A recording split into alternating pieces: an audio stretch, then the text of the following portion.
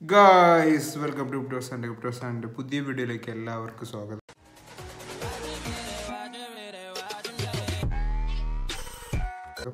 എല്ലാവരും ഹാപ്പിയായി വിശ്വസിക്കുന്നു കൂളായിട്ട് തന്നെ ഇരിക്കുക.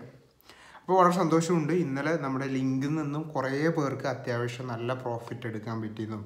ലൂണ പോലുള്ള വിയറ്റ് പോലുള്ളതിനോടൊപ്പം തന്നെ ലിങ്കും കൂടി കൺസിഡർ ചെയ്ത് നല്ല രീതിയിൽ പ്രോഫിറ്റ് എടുക്കാൻ പറ്റി. പിന്നെ അതിന്റെ ഇടയിലുള്ള ഒരു ചോദ്യങ്ങൾ വരിക എന്ന് പറഞ്ഞാൽ എങ്ങനെയാണ് പ്രോഫിറ്റ് എടുക്കുക? ബ്രോ പറഞ്ഞ കോയിൻസിലൊക്കെ നമുക്ക് പ്രോഫിറ്റ് കിട്ടിയിട്ടുണ്ട്. വളരെ നന്ദിയുണ്ട്. പക്ഷേ എങ്ങനെ പ്രോഫിറ്റ് എടുക്കേണ്ടതെന്ന് തിരിയുന്നില്ല. എത്ര പാർട്ടാണ് സെല്ല് ചെയ്യേണ്ടതെന്ന് തിരിയുന്നില്ല. എന്നുള്ള കുറച്ച് ചോദ്യങ്ങൾ വരുമ്പോൾ ഞാനും അന്വേഷിച്ചു. ഓക്കെ ഇന്നലെ തന്നെ ഇപ്പോൾ ലിങ്ക് മുപ്പത്തെട്ട് ഡോളർ നിങ്ങൾ എന്റെ കഴിഞ്ഞ കുറേ വീഡിയോയിൽ പറഞ്ഞൊക്കെ ഞാൻ പറഞ്ഞിട്ടുണ്ട്. ലിങ്കിന്റെ ഇനി പോക്ക് മുപ്പത്തിരണ്ട് ഡോളർ ആയിരിക്കും എന്ന് പറഞ്ഞ് കുറേ ആൾക്കാർ ഓൾ ടൈം ഹൈ ബ്രേക്ക് അതെന്തായാലും ഉണ്ടാവും. പക്ഷേ ഞാൻ നിങ്ങളോട് എന്നും പറയുന്ന പോലെ തന്നെ ഇപ്പോൾ ഏത് കോയിൻ ഇപ്പോൾ നിങ്ങൾ ഞാനിപ്പോൾ ഷിബ ഇന്യൂലൊക്കെ നിങ്ങൾ കുറേ കുറേ ആൾക്കാർ ഒരു രൂപയാകും.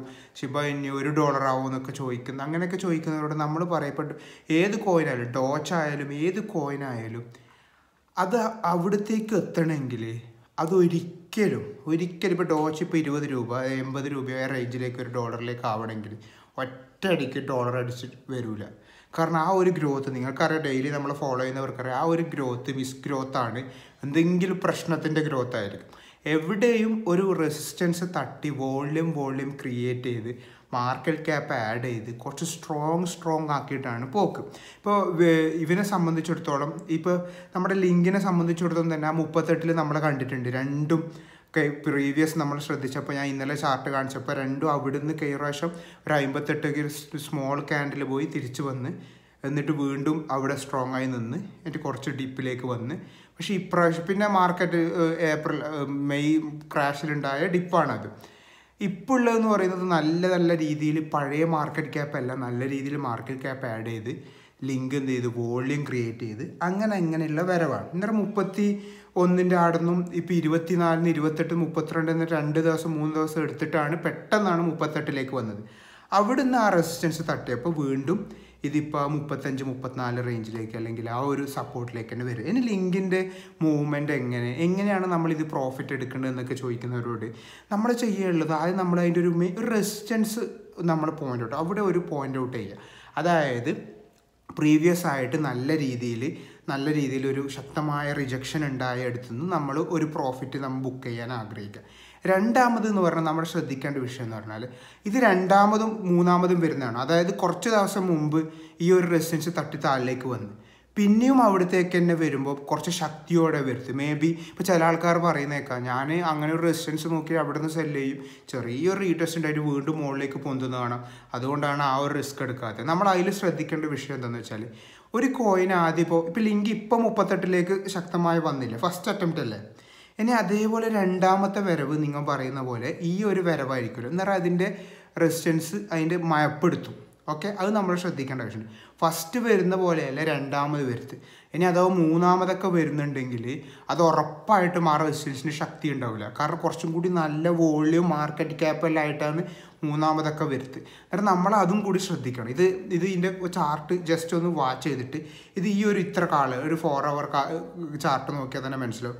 ഈ ചെറിയ കാലയളവിൽ ഈ ഒരു പോയിന്റിലേക്ക് വന്നുകൊണ്ടിരിക്കുന്നുണ്ടോ എന്നും കൂടി നമ്മൾ നോക്കുക പിന്നെയുള്ള വിഷയം എന്താണെന്ന് വെച്ചാൽ ഈ ഒന്നര ഈ ഒരു പാർട്ടിൽ നിന്ന് പിന്നെ നമ്മൾ ബി ടി സിന്റെ ഗ്രീഡ് നോക്കാം. കാരണം ബി ടി സിന്റെ ഡിപ്പെൻസ് എന്തായാലും ചെറുങ്ങനെ രീതിയിലെങ്കിലും ബാക്കിയുള്ള കോയിൻസിന് എന്തായാലും ഉണ്ടാവുമല്ലോ.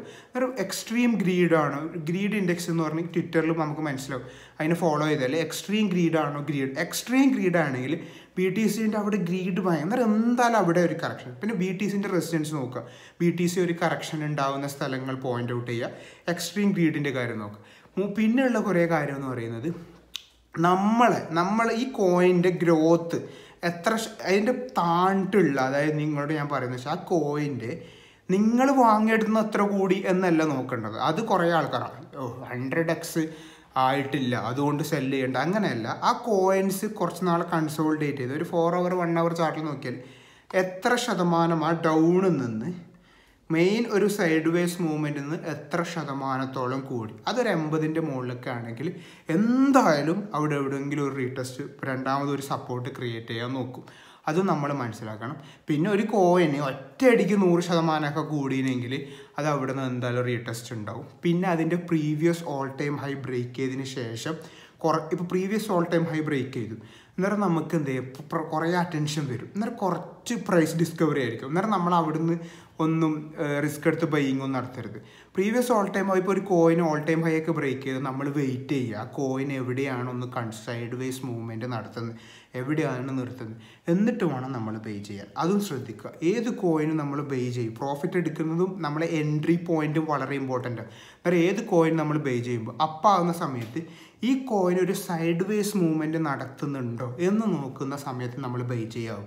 അല്ലാണ്ട് നമ്മൾ ബൈ ചെയ്യരുത്. അതായത് ഒന്ന് ഈ കോയിൻ ഒന്ന് സ്റ്റേബിൾ ആവുന്നുണ്ടോ? എന്നിട്ട് വേണം നമ്മൾ ബൈ ചെയ്യാൻ. അല്ലാണ്ട് ബൈ ചെയ്താൽ പെട്ടെന്ന് ഹൈ എന്നൊരു ഡിപ്പിലേക്കൊക്കെ കറക്ഷൻസ് വരാം. ചിലപ്പോൾ ഫോമോ ആയിരിക്കാം. സോ ഫോമോ മീൻസ് ഇത് കുറേ വെയിൽസിന്റെ ഒക്കെ കളിയായിരിക്കാം. അതൊക്കെ നമ്മൾ ശ്രദ്ധിക്കേണ്ട ആവശ്യം. പിന്നെ ഉള്ളതെന്ന് പറഞ്ഞാൽ നിങ്ങളെ ലക്ഷ്യം പോലെയാണ് എനിക്ക് ഇത്ര കോ ഇത്രയാണ് എന്റെ ലക്ഷ്യം. നിങ്ങൾ ഈ ലക്ഷങ്ങളും കോടികളൊന്നും ലക്ഷ്യം വെക്കരുത്. കാരണം കുറേ ആൾക്കാർ ഇതിലൂടെ ഞാൻ കോടീശ്വരനാവാം.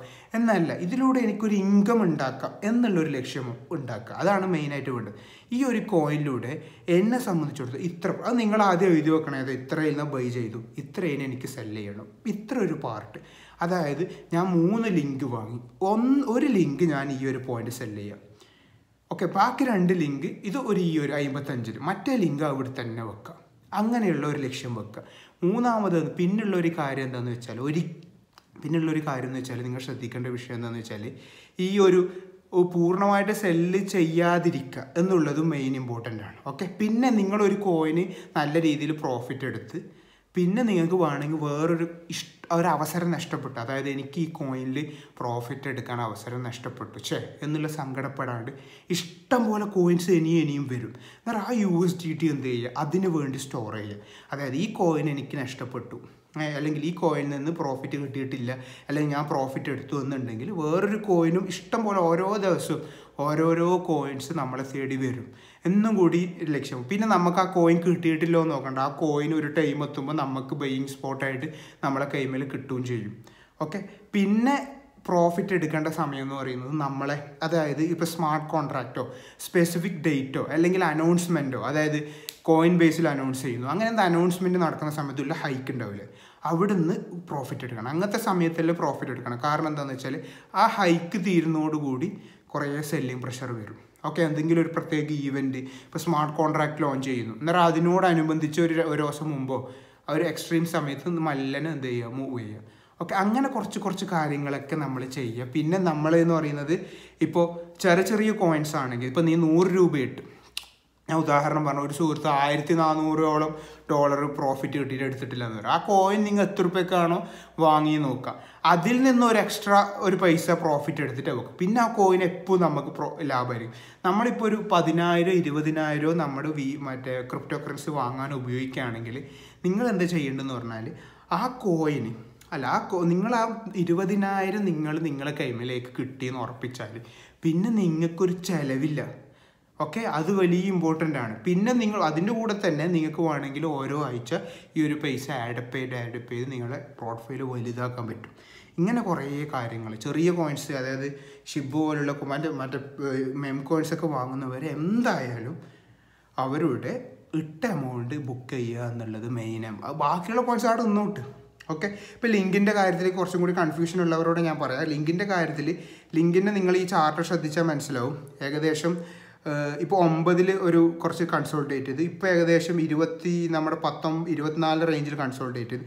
ഇനിയിപ്പോൾ ഒരു മുപ്പത്തെട്ട് മുപ്പത്തിനാല് റേഞ്ചിൽ നിന്നിട്ട് അത് അവിടെ നിന്ന് കുറച്ച് സപ്പോർട്ടാക്കും മുപ്പത്തെട്ട് റേഞ്ച് സപ്പോർട്ടാക്കിയിട്ട് വേണം അതിന്റെ ഫെർദർ അടുത്ത മൂവ്മെന്റ് ഏത് അമ്പതിന്റെ അടുത്തേക്കുള്ള മൂവ്മെന്റ് ഉണ്ടാവുക. ഓക്കെ അതിന് വേണ്ടത് ഈ മുപ്പത്തെട്ട് റീജിയനിലേക്ക് ഇപ്പോൾ ഇതിന് മുമ്പ് അങ്ങനെ തന്നെ. ഇപ്പോൾ ഒമ്പത് നേരെ പതിനഞ്ച് ഒമ്പത് ഡോളർ ഉള്ള സമയത്ത് നേരെ പതിനഞ്ചിലേക്ക് പോയിട്ട് വീണ്ടും ഒമ്പതിലേക്ക് വന്നിട്ടുണ്ട്. ഇപ്പോൾ ഏകദേശം മുപ്പത്തിരണ്ടിൽ നേരെ മുപ്പത്തെട്ട് പോയപ്പോൾ വീണ്ടും മുപ്പത്തിനാല് മുപ്പത്തഞ്ച് നല്ല എന്റെ മുപ്പത്തെട്ടിലേക്ക് വന്നിട്ട് അവിടെ കുറച്ചൊന്ന് നിന്നിട്ട് അവിടെ സപ്പോർട്ടാക്കിയാൽ വീണ്ടും അമ്പതിലേക്ക് പോകാൻ പറ്റും.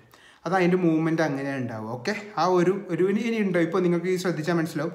ഒമ്പത് അല്ലെങ്കിൽ പത്തൊമ്പത് ടു അല്ലെങ്കിൽ ഈ പത്തൊമ്പത് ടു ഇരുപത്തിനാല് റേഞ്ചിൽ ഹയർ ലോ ഇങ്ങനെ ക്രിയേറ്റ് ചെയ്ത ശേഷം മുപ്പത്തിരണ്ടിലേക്ക് വന്നു. ഇനി അവിടുന്ന് മുപ്പത്തെട്ടിലേക്ക് ഇങ്ങനെ ക്രിയേറ്റ് ചെയ്ത് അത് സപ്പോർട്ടാക്കിയിട്ടായിരിക്കും അമ്പത് ഡോളർ റേഞ്ചിലേക്ക് ലിങ്ക് പോവുക. ഓക്കെ അത് നമ്മൾ നോട്ട് ചെയ്യേണ്ട ആവശ്യമുണ്ട്.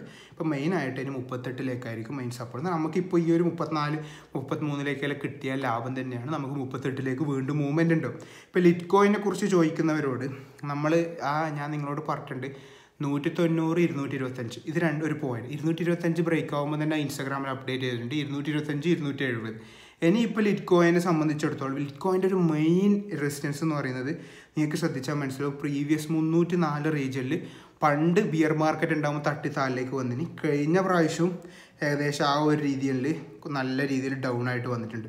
കാരണം ഈ ഒരു മുന്നൂറ് റീജിയൻ ലിറ്റ്കോയിനെ സംബന്ധിച്ചിടത്തോളം വലിയ ഒരു റെസിസ്റ്റൻസ് മുന്നൂറ്റഞ്ച് റീജിയൻ കാരണം ആദ്യത്തെ പ്രാവശ്യം തൊണ്ണൂറ്റി രണ്ട് ശതമാനത്തോളം കുറഞ്ഞിട്ടുണ്ട് പിന്നെ മുപ്പത്തിരണ്ട് ശതമാനത്തോളം കുറഞ്ഞു. ഇപ്പോൾ ആ ഒരു പോയിന്റിലേക്കുള്ള മൂവ്മെന്റ് ആണ്.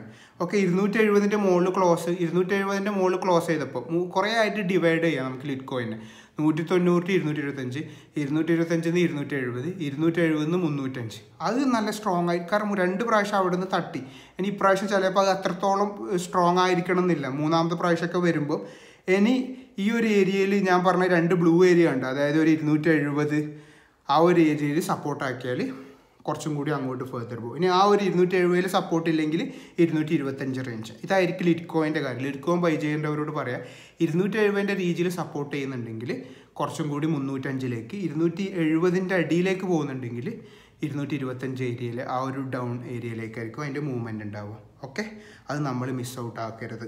ഓക്കെ ആ ഒരു മെയിൻ പോയിന്റാണ് അതിന്റെ കൂടെ തന്നെ കുറേ ആൾക്കാർ നമ്മൾ മെറ്റിക്കിന്റെ കാര്യം ചോദിക്കുന്നവരോട് മെറ്റിക്ക് എന്താ പറയാത്ത മെറ്റിക്ക് എന്താ ഒഴിവാക്കിയോ എന്ന് ചോദിക്കുന്നവരോടൊക്കെ പറയാനുള്ളത് മെറ്റിക്ക് എന്ന് പറയുന്നത് വൺ പോയിന്റ് സെവൻ ടുവിലേക്ക് വീണ്ടും കൺസോളിഡേറ്റ് ചെയ്തിട്ട് വീണ്ടും റീടെസ്റ്റ് ഉണ്ടായിട്ട് അത് നിൽക്കുന്നതാണ്. അത് അവിടെ കുറച്ച് സ്ട്രോങ് ആയിട്ട് സപ്പോർട്ട് കിട്ടിയാൽ തന്നെ അതിന് ഓൾ ടൈം ഹൈ ബ്രേക്ക് ചെയ്യാനുള്ള മൂവ്മെന്റ് ഉണ്ടാവും.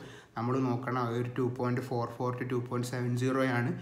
നമുക്കൊരു നല്ലൊരു ബയ്യിങ് ഏരിയ ആണ് one point seven two region one point eight ഒക്കെ. ഓക്കെ മെറ്റിക്കിന്റെ വിഷയം അങ്ങനെയാണ്. ഒന്നും കൂടി നോട്ട് ചെയ്യുക അതിന്റെ കൂടെ തന്നെ വി ചെയിന്റെ കാര്യം ചോദിക്കുന്നവരോട് വി ചെയിൻ എന്ന് പറയുന്നത് എനിക്ക് തോന്നുന്നു ബെസ്റ്റ് ബൈയിങ് ഏരിയ എന്ന് പറയുന്നത് വി ചെയിന്റെ ഒരു one point one point one six ഇപ്പോഴത്തെ ഒരു റീജിയൻ ഇല്ല? പോയിന്റ് വൺ സിക്സോ അല്ലെങ്കിൽ ഒരു one seven region one seven region അല്ലെങ്കിൽ ഒരു one six point one six എന്ന് പറയുന്ന ഡോളർ റീജിയൻ ബെസ്റ്റ് ഏരിയ ആണ്. കുറച്ച് ഫേർദർ ഒരു മൂവ്മെന്റ് ഉണ്ടാവും.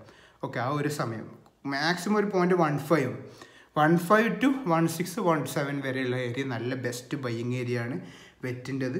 എനിക്ക് തോന്നുന്നു അവിടുന്ന് കുറച്ച് ഫേർദർ ആയിട്ട് ഒരു പോയിന്റ് ടു ഫോർ റീജിയനിലേക്കൊക്കെ ടു ഫോർ റീജിയനിലേക്കൊക്കെ വെട്ടിക്കുക അതായത് ഒരു യു ഷേപ്പ്ഡ് പാറ്റേൺ ആണ് കാണിക്കുന്നത്. അങ്ങനെയാണെങ്കിൽ ടു ഫോർ റീജിയനിലേക്കൊക്കെ പോകാൻ ചാൻസ് ഉണ്ട്. നമ്മൾ നോട്ട് ചെയ്ത് വെക്കാം. ഓക്കെ